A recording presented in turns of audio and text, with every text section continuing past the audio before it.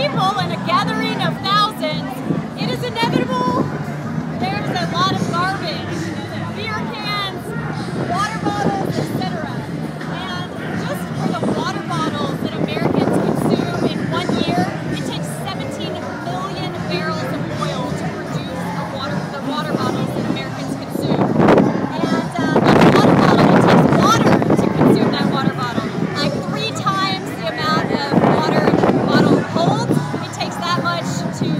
the bottom.